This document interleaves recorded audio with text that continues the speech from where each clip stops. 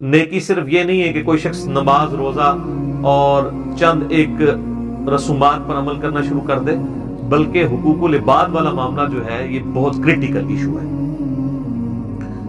उमूमन हम लोग डिवीज़न तो करते हैं हुकूकुल्लाह की और हुकूकुल इबाद की, लेकिन बेसिकली अगर देखा जाए, दोनों ही हुकूकुल्लाह हैं, क्योंकि हुकूकुल इबाद की तरगीब भी हमें अल्लाह ही ने दिलाई है लेकिन ये जो तफरी की जाती है किसी हद तक दुरुस्त है। उसकी वजह यह है कि कुरान सुन्नत में जो महकम दलाइल हैं, वो उसके ऊपर शाहिद हैं कि अल्लाह तबारक व ताली अपने हकूक के मामले में तो खुद डिसीज़न लेगा, लेकिन जो हुकूकुल इबाद का मामला है, वो बंदों ही ने माफ़ करना होगा। इसलिए इनका इशू जरा क्रिटिकल हो जाता है। उसमें मशहूर जमाना एक हदीस है, सही मुस्लिम के अंदर।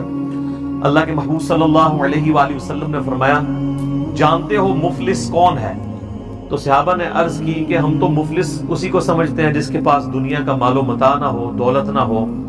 तो आप सल्लल्लाहु अलैहि वसल्लम ने फरमाया कि मेरी उम्मत का मुफलिस, यानी गरीब शख्स वो है कि जो क्यामत वाले दिन इस हाल में आया कि उसके नामा अमाल में ढेरों नेकियाँ थी। लेकिन साथ ही साथ उसने दुनिया में किसी को थप्पड़ मारा तो किसी का खून बहाया तो किसी को धमकी धमकी दी, किसी को मारा पीटा।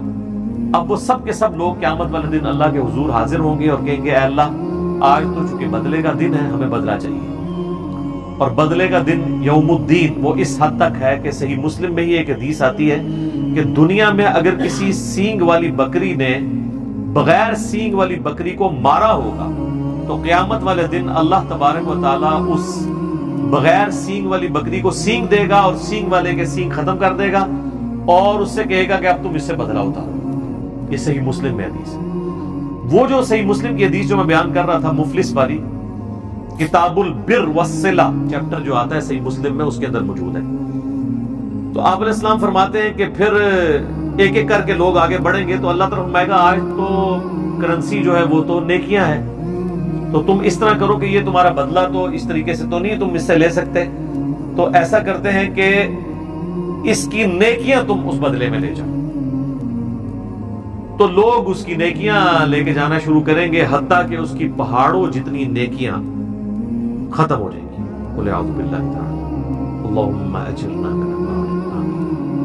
अभी भी कुछ लोग बाकी होंगे जिनका हक उसने देना होगा। तो अल्लाह फरमाएगा कि अब तो इसके पास कोई नेकी नहीं बची। अब यूँ करते हैं कि तुम्हारे गुना इसके नामा माल में डाल देते एंड वाइस वर्सा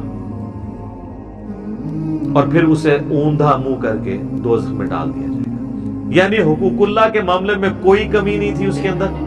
ढेरों ने किया लेकिन हुकूकुल इबाद के मामले में उसने कमज़ोरी दिखाई, उसकी वजह से उसका बेड़ा गरक हो गया। इसलिए आप देखें कि सूर्य निसाह के अंदर अल्लाह ताला फरमाता है, जो लोग यतीमों का माल ना हक हड़प कर रहे हैं, वो अपने पेटों में दोजख की आग भरते हैं। दुनिया में इस आग का पता नहीं चलेगा। दुनिया में तो चूँकि फ़िज़िकल लॉज एक्टिव हैं, अगर आप अपनी ज़ुबान के ऊपर अंगारा रखें तो जल जाएगी हराम का माल ज़ुबान पर रखें तो नहीं जलेगी बल्कि लोग तो कहते हैं हराम खाने का ज़्यादा ही मज़ा आता है। लेकिन आखिरत की ज़िंदगी के अंदर, दुनिया में जिसने हराम अपने पेट में डाला होगा, वो अल्लाह ताला उसे हुक्म देगा, वो आग बन जाएगी। बल्कि बुखारी मुस्लिम में तो आता है कि वो खौफनाक किस्म के अजदा और सांप की शक्ल इख्तियार कर लेंगे। उसी का मालो दौलत, जो हराम तरीके से उसने कमाया होगा या हलाल तरीके से कमाया, लेकिन उसकी जक़ात अदा नहीं की। तो अब वो नेकी का जो फलसफा है, वो आयतुल बिर के अंदर बयान हो रहा है। बकरा, आयत नंबर 177 लईसल बिर्रा अन तुवल्लू वजूहकुम क़िबल मशरिक़ वल मगरिब। नेकी सिर्फ़ ये नहीं है कि तुम अपना रुख मशरिक या मगरिब की तरफ़ कर लो। बेसिकली यहूदियों को टॉन्ट किया जा रहा है ना। पीछे पस मंजर में हम तहवील किबला का मजमून कवर कर चुके हैं। उन्होंने एक लकीर पीटना शुरू कर दी थी कि जब तक इब्राहिमी किबले की तरफ़ मुसलमान नहीं गए थे तो ये कहते थे कि योरूशलेम तो इब्राहिमी किबला है ही नहीं है, लेकिन आपस में जेमा गोइया करते थे। जब अल्लाह तला ने किबला यूरोशलम की बजाय खाना काबा कर दिया तो फिर इन्होंने ओपनली ये कहना शुरू कर दिया कि ये क्या हुआ? अभी तक तो तुम हमारे किबले की तरफ़ नमाज़ पढ़ रहे थे, अब तुमने अपना किबला बदल लिया हालाँकि वो अंदर से ही जानते थे कि इब्राहिमी किबला जो है वो खाना काबा है। किबला अव्वल भी काबा है, किबला आखिर, यानी फाइनल किबला भी काबा है। किबला औसत, दरमियानी पीरियड के लिए जो सही बुखारी में आता है, सत्रह महीने तक के लिए वो बैतुल मकदिस, जिसे यौरशलम भी कहते हैं ईलिया भी कहते हैं, और बाद में वहाँ पे हज़रत उमर के दौर में मस्जिद अक्सा भी बन गई। वैसे जो उसको मस्जिद अक्सा अहदीस के अंदर आया है, या कुरान हकीम में सूर्य बनी इसराइल में, उससे मुराद दूर की मस्जिद है। तो अल्लाह ताला हमारा ये कोई नेकी सिर्फ़ ये नहीं है कि आपका रुख मशरक की तरफ़ है या मगरिब की तरफ़। अल्लाह को क्या फ़र्क पड़ता है? पहले आयात गुजर चुकी है ना, कि तुम जिस तरफ़ भी रुख करोगे, अल्लाह का चेहरा पाओगे। अल्लाह को तो फ़र्क नहीं पड़ता। और बाकी दुनिया में भी आप देख लें, यानी हम सब कॉन्टिनेंट के लोगों का जो किबला है वो मगरिब की जाने है। लेकिन अगर आप यूरोप में चले जाएँ, अफ्रीका में चले जाएँ तो उनका किबला मशरक की जाने है। क्योंकि सेंटर में आ जाता है ना खाना काबा शरीफ।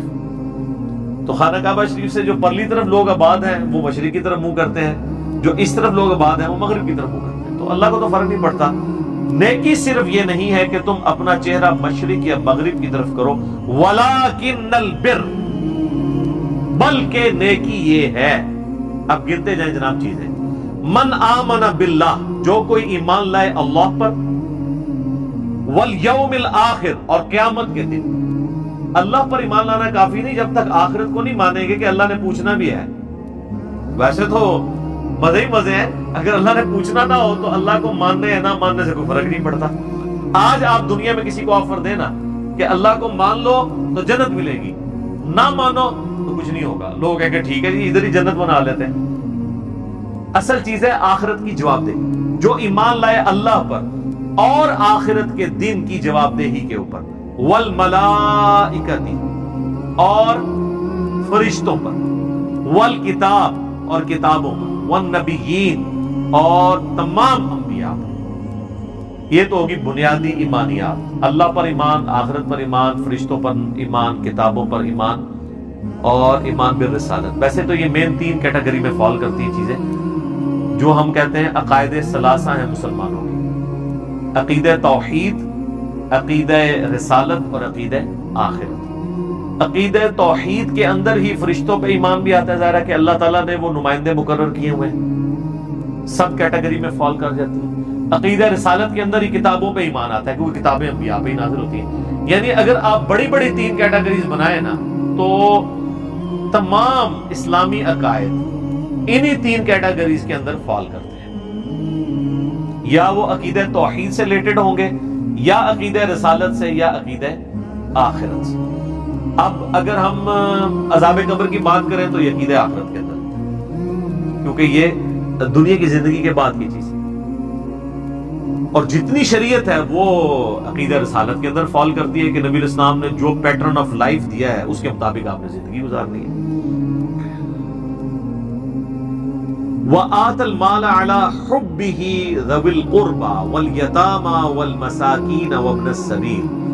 और माल खर्च करना उसकी मोहब्बत में, अपने करीबी रिश्तेदारों पर, यतीमों पर, मसाकीन पर और मुसाफिरों पर।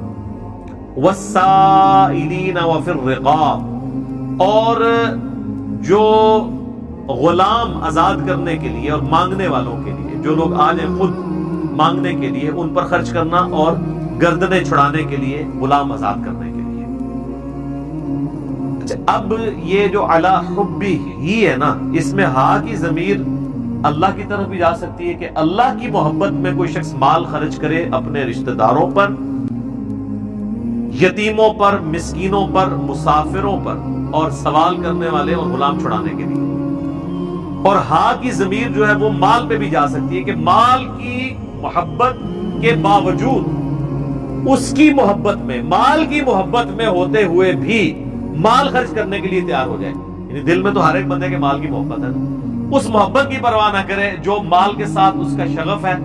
माल से मोहब्बत रखने के बावजूद माल अल्लाह की राह में दे दे तो क्या वो साबित करेगा कि मुझे अल्लाह की मोहब्बत जो है वो माल की मोहब्बत से बढ़ गए अब तरतीब अल्लाह तला ने लगाई है ऐसी जो पिंच करने वाली सबसे पहले रिश्तेदारों का नंबर क्योंकि रिश्तेदारों को देना ये सबसे मुश्किल काम है। रिश्तेदारों को फलता फूलता देखना ये शैतान नहीं बर्दाश्त करने देता। जितना जेलसी फैक्टर है, वो रिश्तेदारों के साथ होता है। ये जितने तवीज धागे भी आप सुनते हैं, लोग करवाते हैं, वो रिश्तेदार करवाते हैं। बाहर के लोगों को क्या ज़रूरत है? किसी से जेलसी करने की या हसद करने की? रिश्तेदार। इसलिए इंसान रिश्तेदारों को इग्नोर भी कर रहा होता है। तो अल्लाह तला ने पहली जरब ये लगाई है कि सबसे पहले रिश्तेदारों का हक है। अच्छा रिश्तेदारों में ये कोई ना समझे कि मेरे कज़न जो है या मेरे मामू, खाल, खालू नहीं, सबसे पहले रिश्तेदार आपके बीवी, बच्चे माँ बाप बहन भाई हैं। उसके बाद बाकी रिश्तेदार लोग अक्सर पूछ रहे होते हैं कि जक़ात देनी है, बहन मेरी बेवह दे दे। भाई, उससे ज़्यादा कोई हकदार ही नहीं है। उसका तो कोई कमाने वाला भाई को दे दे, बिल्कुल दे सकते सबसे ज़्यादा हकदार वो लोग हैं। उसके बाद यतीम, ज़ाहिर यतीमों का कोई सरप्रस्त नहीं है। मुश्किल है उनके लिए ज़िंदगी गुजारना। मसाकीन जो बिल्कुल गुर्बत, की जिसको आप कहते हैं ना कि वो सतह गुर्बत से नीचे की ज़िंदगी गुजार रहे हैं, और मुसाफिर। अब ये मुसाफिर वाला मामला आजकल जरा समझना मुश्किल है। आप जरा आज से सौ साल पहले चले जाए ना तो फिर आपको ये बात समझ आएगी। कि जो लोग सफ़र पर निकलते थे दूसरे मुल्कों के सफ़र पर, उस वक्त तो मुल्कों की बाउंड्रीज भी ऐसा नहीं बनी थी। आपको पता है ये मुल्कों की बाउंड्रीज जो है ना, ये बीसवीं सदी की बिदत हसना है। इससे पहले मुल्क नहीं होते थे। जब सल्तनत उस्मानिया टूटी है और जंगे अजीम हुई हैं, इसके बाद ये मुल्कों की डिवीज़न और ये वीजे शुरू हैं, वरना लोग पहले खाना बदोशी की ज़िंदगी गुजारते थे। आज भी अगर ये मुल्कों की बाउंड्रीज खत्म कर दी जाए ना तो दुनिया से गुर्बत खत्म हो जाए अब कितने टैलेंटेड लोग हैं जिनके पास ये टैलेंट नस्ल दर नस्ल मौजूद है कि वो ज़मीन में ज़रात का काम कर सकते हैं। लेकिन गरीबों के पास जमीनें नहीं है। ऐसे कई लोग हैं। अब ऐसे लोग के इंडिया में आबाद हैं, अगर वो पाकिस्तान में आ जाए, उनको नेशनैलिटी यहाँ की मिल जाए, कम अज कम मुसलमानों को। वैसे तो हिंदुओं को भी देने में कोई अर्ज़ नहीं है। तालीफ कल्ब के लिए। तो यहाँ पे आके आबादी कर सकते हैं, हमारी इकोनॉमी को बेहतर कर सकते हैं। पाकिस्तान के अंदर कई इलाके ऐसे मौजूद हैं जहाँ पे ज़रात की जा सकती है। सिर्फ़ वहाँ तक एक नहर पहुँचाने की देर है। तो आप देखें, ये जब तक नहरी निज़ाम नहीं था पाकिस्तान इंडिया में बना हुआ तो ये इतनी हरियाली नहीं थी यहाँ पे। अब तो आप देखें जनाब, काया पलट गई है। जब से ये सिस्टम बना है इन सौ सालों के अंदर। आज भी आप देख रहे दुनिया रो पीट रही है। सबसे महफूज तरीन इलाके सेहत के पॉइंट ऑफ़ व्यू से रिस्क के पॉइंट ऑफ़ व्यू से, मौसम के पॉइंट ऑफ़ व्यू से यही है। इंडिया पाकिस्तान बांग्लादेश ये पूरा एक रीजन तो पहले जो लोग सफ़र इख्तियार करते थे तो सफ़र में अगर आके काफले को किसी ने लूट लिया तो वो अगर निकले हुए छह महीने के सफ़र के ऊपर, ज़ाहिर है कम अज कम तो इतने होते थे सफ़र। यहाँ से जो हज करने जाते थे, चार महीने जाने के लगते थे, चार महीने आने के।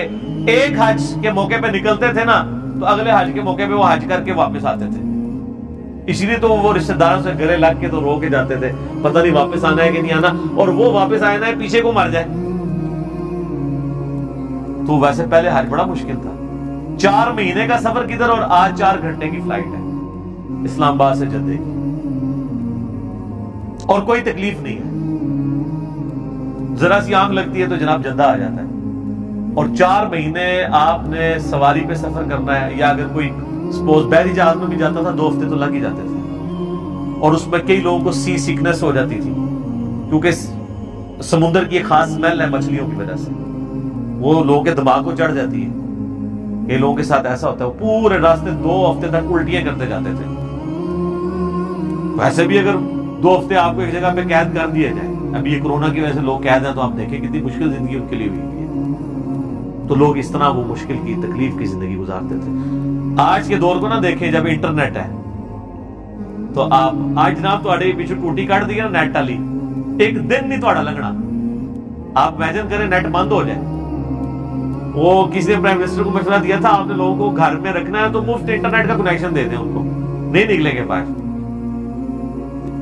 तो उस जमाने की बात हो रही है। आज से सौ साल पहले, वो पुरानी बात भी तो कुरान के नजूल को ऑलमोस्ट 1400 साल गुजर चुके हैं। अगर आप 1400 साल में देखें तो सिर्फ़ ये 100 साल डिफरेंट है। पहले 1300 साल तो वही है जो हम डिस्कस कर रहे हैं इसमें। मुसाफिर। अब जिस मुसाफिर की जेब कट गई है तो वो तो आ गया। अब जक़ात लेने के काबिल हो गया उसकी पल्ले तो कोई शय नहीं है। तो इसीलिए तरगीब दिलाई गई है कि मुसाफिरों को देना है। तो मुसाफिर वाकई जरूरतमंद हो सकता है। अब वो इजी लोड तो नहीं करवा सकता घर से। अगर जेब किसी की कट गई है तो आज के जमाने की बात इवन आज भी जिन लोगों को टेक्नोलॉजी की खबर नहीं है, या जिन लोगों को पीछे कोई सपोर्ट करने वाला नहीं होता, दूसरे शहरों में आते हैं, खरीदारी के लिए जेब कट गई है, उनके पास, बेचारों के पास वापसी जाने का किराया भी नहीं होता। जेनवन इशू भी आ जाता है। बाज का तो खैर लोग ऐसे जो रोज़ाना किराया मांग रहे होते हैं, वो तो एक प्रोफेशनल है, उनकी बात नहीं हो रही है।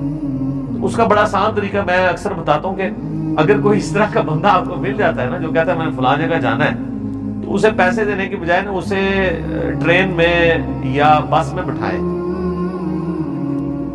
तो और ट्रेन वाले जहाँ से टिकट लेने वाला है, उसको भी बता दें, टिकट वापस करे तो फाड़ देना है और पैसे तूने रख लेने और कंडक्टर को बता दें कि अगर ये टिकट वापस करके उतरे तो पैसे तेरे इसको नहीं देने।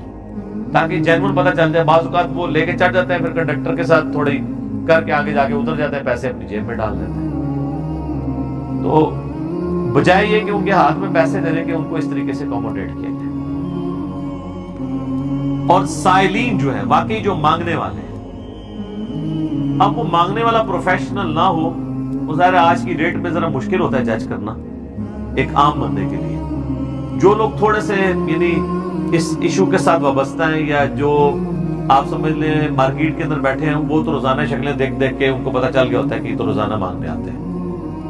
तो ऐसे लोगों को तो इस्लाम कहता है आपने डिस्करेज करना है। प्रोफेशनल बैगर्स को डिस्करेज करना है। डिस्करेज करने का मतलब नहीं है कि उनको सलवातें सुनानी है, बल्कि वो आगे जाएगा, बन इसराइल में आ जाएगा। कि तुमने झिड़कना नहीं, अगर किसी को नहीं देना तो उसको झिड़को मत। बल्कि ऐसा तरीके से बात को डाल दो। कोई शख्स कहता है, रोटी खानी है तो रोटी खिला दे उसको। बजाय रोटी के पैसे देने ताकि कम से कम ये कंफर्म हो जाए कि इसने रोटी खाने के लिए मांगे वफिर, रिकाब और गुलाम आज़ाद करने गुलाम आज़ाद करने में तो उस वक्त गुलामी का एक दौर था तो अल्लाह ताला ने इस चीज़ को इनकरेज किया कि गुलाम को आज़ाद करने का इतना सवाब है। हती कि आप देखेंगे हमारी कई एक इबादत के कफारे के तौर पर गुलाम आज़ाद करने की बात हुई है। रोजा तोड़ लिया तो गुलाम आज़ाद करो। कत्ले खता हो गया किसी से। जानबूझ के नहीं एक्सीडेंटल वो भी गुलाम आज़ाद करेगा। दिए तो लादा देगा, गुलाम भी अलग से आज़ाद करेगा। इसी तरीके से कसम तोड़ दिया उसका कफारा भी है। एक गुलाम आज़ाद करेगा।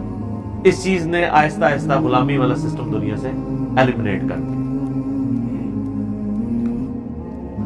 आज के दौर में आप इसकी मॉडर्न फॉर्म ले सकते हैं, मकरूज की गर्दन छुड़ाना।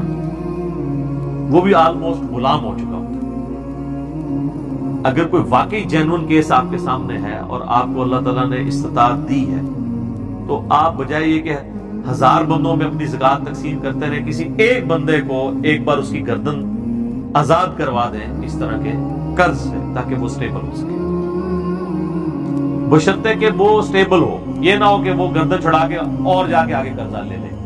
ऐसे लोग भी होते कई लोग हैं, यानी उनको आप थोड़ा सा कारोबार सेट करके दें तो वो चीज़ें बेच के फिर किसी और के पास जाके मांगना शुरू कर देते हैं और वो प्रोफेशनल बैकर्स होते हैं। इन चीज़ों को भी देखने की ज़रूरत होती है। अच्छा अब अल्लाह तला ने ईमानियात के बाद अमाल का दो ही चीज़ें हैं ना, ईमान और अमल। ईमानियात है और अमल साले है ईमानियात तो आ गई अकीद तोहीद, रसालत और आखरत। उसके बाद अमाल का जब सिलसिला शुरू है तो आप देख लें हुकूकुल इबाद पहले ज़िक्र हुए कि अल्लाह की राह में अपना माल खर्च करना है, जेब ढीली करनी है। और किस तरीके से अपने रिश्तेदारों पे खर्च के अपने करीबी मसकीन जो लोग हैं, उन पे खर्च करके। और जो मुसाफिर हैं, गर्दने छुड़ाने के लिए। और जो लोग गरीब हैं, मांगने वाले, उनको देगा इसमें एक हदीस भी है, बुखारी, मुस्लिम दोनों में। नबी इस्लाम ने फरमाया, जो शख्स ये चाहता है ना कि अल्लाह ताला उसकी उम्र में बरकत कर दे, उम्र दराज कर दे और रिस्क में कुशादगी कर दे तो वो अपने रिश्तेदारों के साथ उसने सलूक करे, सिला रहमी का ये बड़ा ज़बरदस्त एक ज़रिए है। लेकिन ये काम करना मुश्किल है। असल बात ये ये कहना बहुत आसान है, लेकिन रिश्तेदारों के साथ उसने सलूक करना जरा मुश्किल का अब हुकूकुल इबाद के बाद हुकूकुल्लाह का ज़िक्र आ रहा है। वह अकाम अब देखिए, नमाज़ से बड़ी कौन सी इबादत हो सकती है, लेकिन अल्लाह ने उसे बाद में ज़िक्र किया। और कायम करना नमाज़ को, वह आत जका और जक़ात देना या तस्किया नफ्स करना, दोनों माना दुरुस्त है। वलमूफून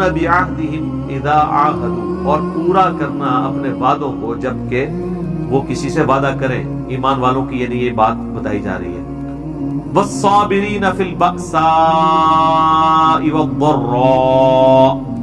और सबर करने वाले लोग मुसीबत के हालात में और सख्ती के हाल में। वहीन बस और लड़ाई के दौरान, यानी जिहाद के दौरान। ज़ाहिर है कि मुसीबत में, तंगी में, तंगी कौन सी आ सकती है? माल की तंगी भी साली भी आ सकती है। और जिहाद में तो ज़ाहिर कई एक तकलीफ़ से गुजरना पड़ता है। उसमें वो सब्र इख्तियार करने वाले लोग होते हैं। उलादीन सदकू तो ऐसे लोग हैं जो कि अपने, यानी दावा ईमान के अंदर सच्चे हैं। मुत्तकून, और यही वो लोग हैं जो हकीकी तौर पर परहेजगार है। यानी तकवे का म्यार अल्लाह के नज़दीक जो है, अब यहाँ पे कहीं आप देख लें कि कोई लंबी दाढ़ी होना, पगड़ी होना, शलवार टखनों से ऊपर होना, शक्लो सूरत जो है वो कोई मजहबी गेटअप बना लेना, कोई इस चीज़ का कहीं पर ज़िक्र नहीं है। चंद एक बुनियादी चीज़ों का ज़िक्र है, ईमानियात के बाद हुकूक इबाद और उसके बाद हुकूकुल